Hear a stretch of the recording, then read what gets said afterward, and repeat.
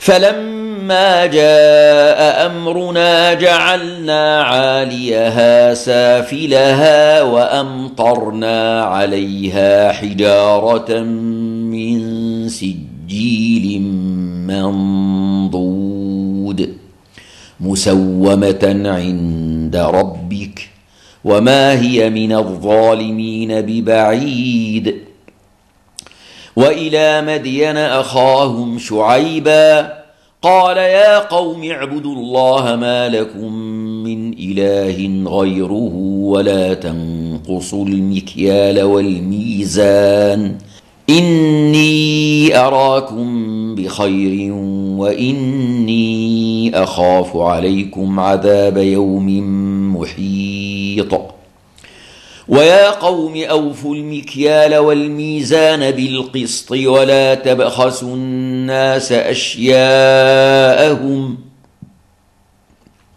ولا تبخسوا الناس أشياءهم ولا تعثوا في الأرض مفسدين بقية الله خير لكم إن كنتم مؤمنين وما أنا عليكم بحفيظ قالوا يا شعيب أصلاتك تأمرك أن نترك ما يعبد آباؤنا أو أو أن نفعل في أموالنا ما نشاء. إنك لأنت الحليم الرشيد.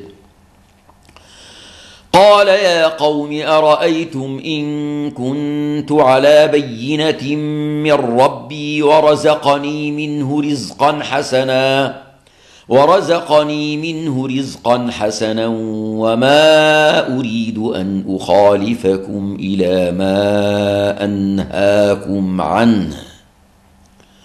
إن أريد إلا الإصلاح ما استطعت وما توفيقي إلا بالله. عليه توكلت وإليه أنيب.